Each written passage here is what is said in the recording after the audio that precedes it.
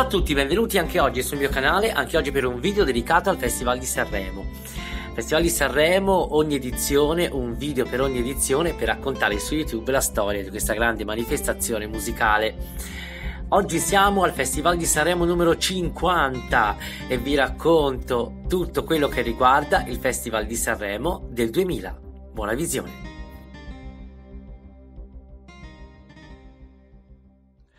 Il cinquantesimo Festival di Sanremo si tenne a Sanremo dal 21 febbraio al 26 febbraio del 2000.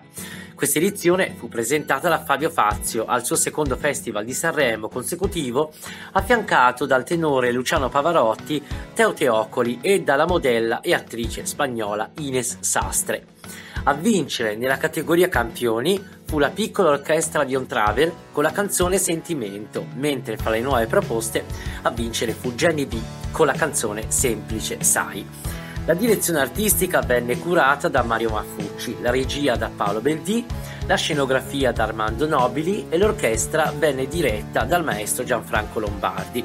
Inizialmente come conduttore di questo Festival di Sanremo del 2000 doveva essere Amadeus, che poi sappiamo conduttore futuro e direttore artistico dell'edizione 2020. Era previsto così perché lo stesso Amadeus aveva firmato nel maggio del 99 con la RAI un contratto che appunto lo legava al Festival di Sanremo, ma alla fine a causa del poco feeling fra il conduttore e il direttore artistico Mario Maffucci e visto anche il grande successo dell'edizione precedente condotta sempre da Fabio Fazio, l'allora direttore di rete Agostino Saccà decise di riaffidare nuovamente a quest'ultimo la conduzione. La classifica finale, che decretò la vittoria degli Avion Travel, fu volutamente falsata dalla giuria di qualità, che diede voti bassi a tutti i cantanti in gara, eccetto al gruppo di Beppe Servillo, al quale fu dato il massimo dei voti. Sembra che la ragione, secondo quanto rivelato poi e successivamente, fu quella di voler premiare e far vincere un brano di qualità. Quindi per far vincere un brano di qualità decisero di falsare i voti di tutti gli altri. Complimenti chiaramente a Fazio. E eh, come ogni festival di Sanremo, anche questo festival di Sanremo ha un suo dopo festival e sarà condotto da Alessia Marcuzzi. Questo era il festival di Sanremo del 2000. E siamo alla classifica delle canzoni del Festival di Sanremo. Quella che vi dico adesso non è però la classifica dei dischi più venduti, che vedremo dopo, ma è la classifica de- della serata finale. Perciò come arrivarono i cantanti in gara quell'anno al Festival di Sanremo. Allora, dunque, ad arrivare ultimo a questo Festival di Sanremo falsato, perché così è stato detto, eh, con tutti i voti bassi, tranne che per gli Avion Travel.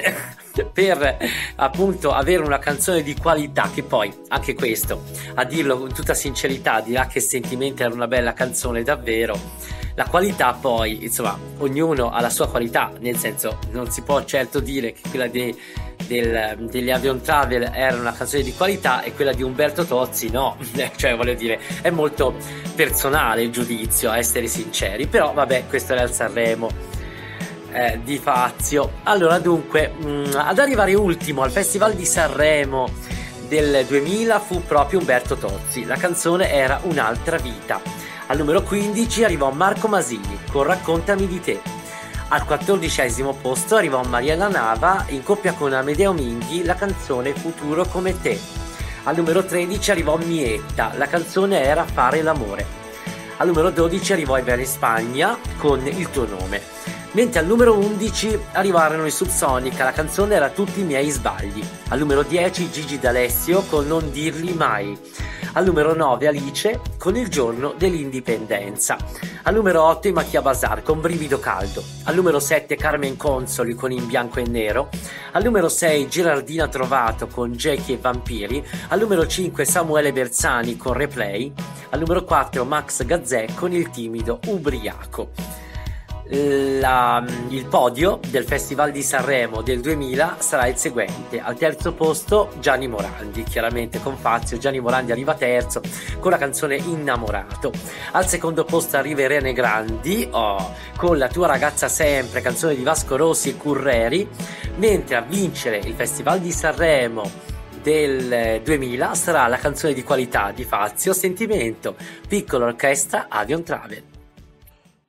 E siamo alla classifica dei dischi più venduti del Festival di Sanremo del 2000, Festival Sanremo del 2000 ehm, che vede in gara 34 canzoni, ben 34 canzoni partecipano al Festival di Sanremo del 2000 e ad arrivare nella classifica dei dischi più venduti dell'anno saranno tre canzoni. Sono queste le tre canzoni più vendute del Festival Sanremo del 2000.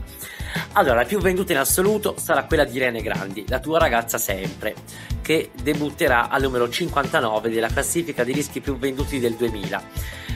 Al numero 67 ci saranno i Subsonica con tutti i miei sbagli e al numero 99 Carmen Consoli con In bianco e nero.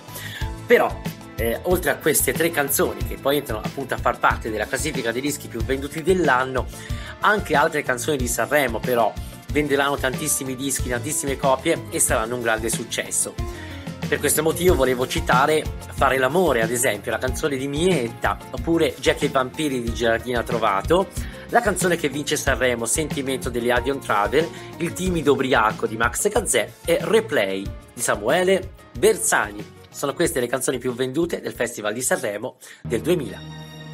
E vi ringrazio per aver seguito anche oggi un, un, nuovo video dedicato al Festival di Sanremo, alle edizioni numero 50 in questo caso. Abbiamo parlato del Festival del 2000, e cioè il primo festival del nuovo millennio. Questo era il Festival di Sanremo appunto di quell'anno. Vi ringrazio per aver seguito quindi questo video, vi aspetto al prossimo. Vi invito se volete a iscrivervi al canale e vi aspetto la prossima volta. Ciao da Ale, ciao!